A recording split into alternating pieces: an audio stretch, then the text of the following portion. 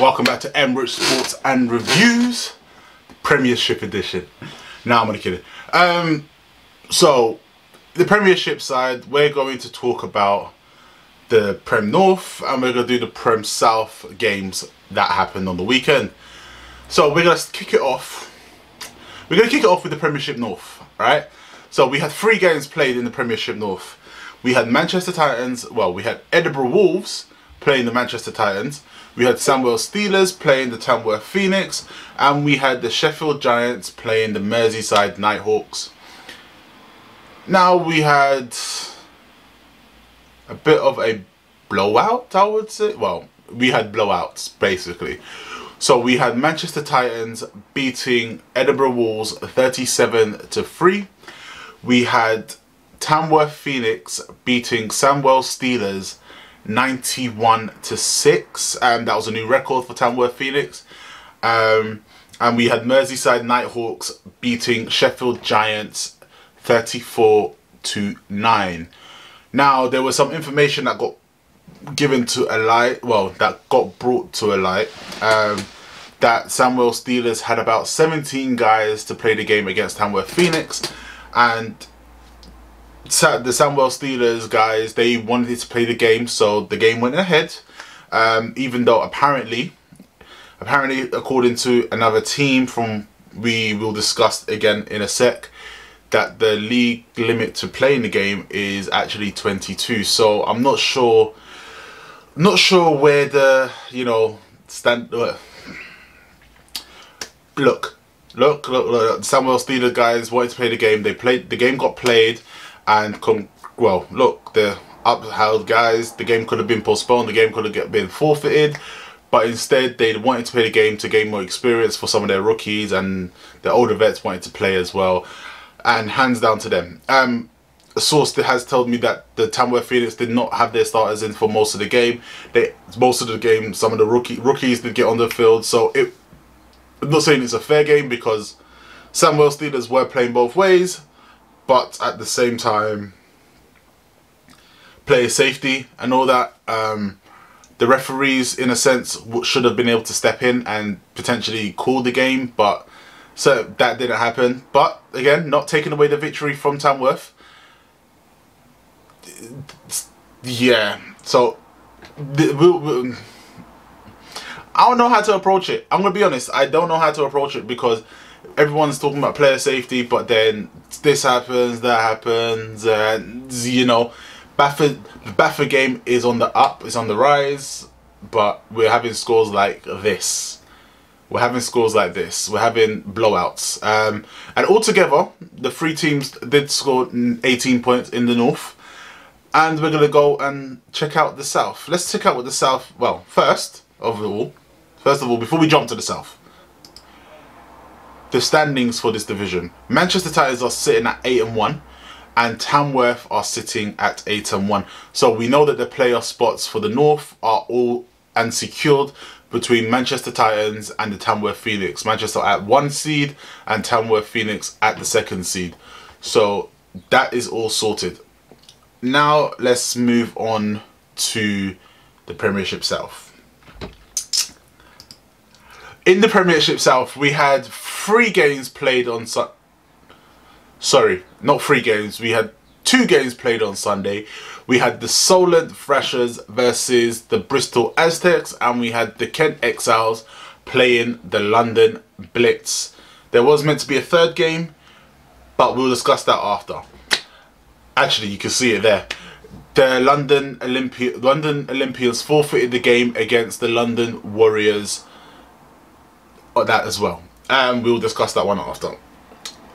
So, Bristol Aztecs beat Solent Thrashers 11-0 in a very tight game where the first scores only came in the fourth quarter for Bristol and it also does secure the playoff well the second seed for Bristol in the first time since 2014 and they will potentially be travelling up to Manchester to play the Titans. And we also had the London Blitz beating the Kent Exiles 43 to 0, securing another victory for the London Blitz, going five and four this current season. This well for the season, with their last game next week against the Bristol Aztecs.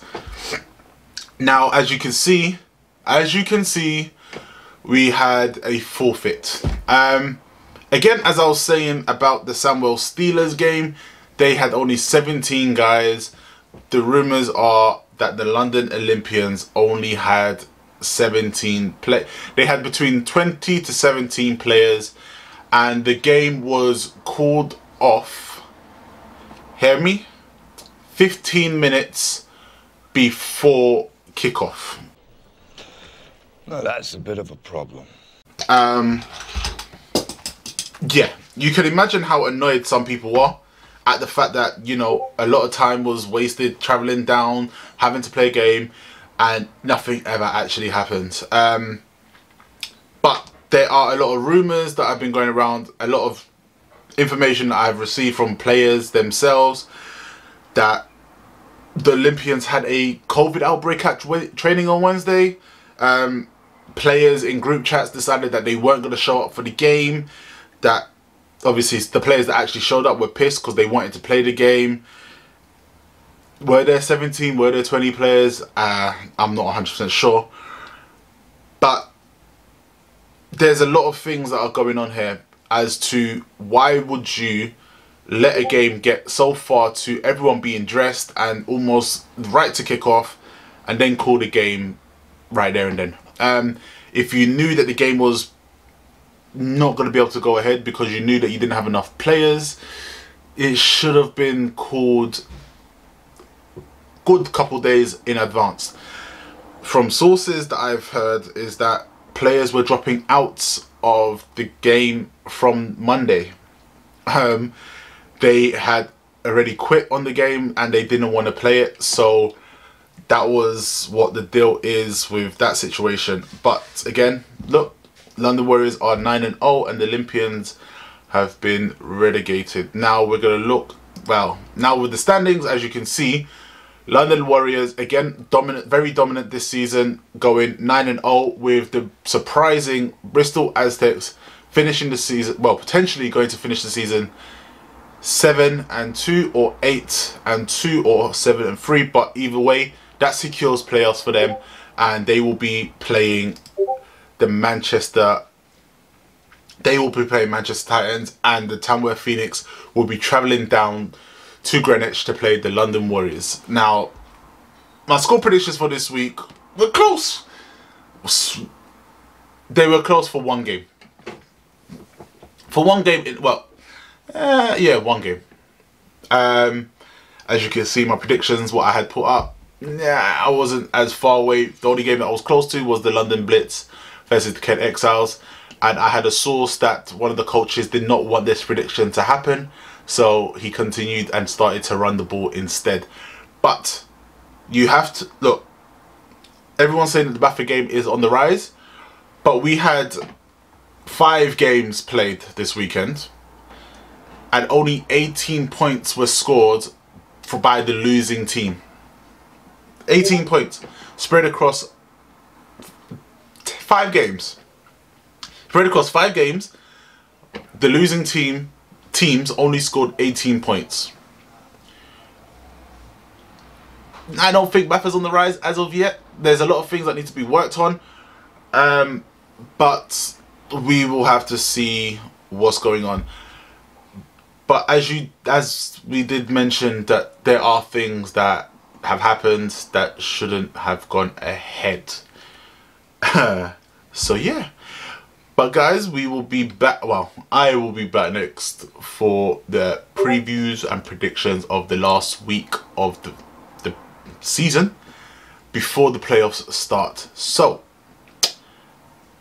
I'm going to hit you up and I'm going to leave you perfectly with the picture of the playoff games, of what's to come. And I will see you soon.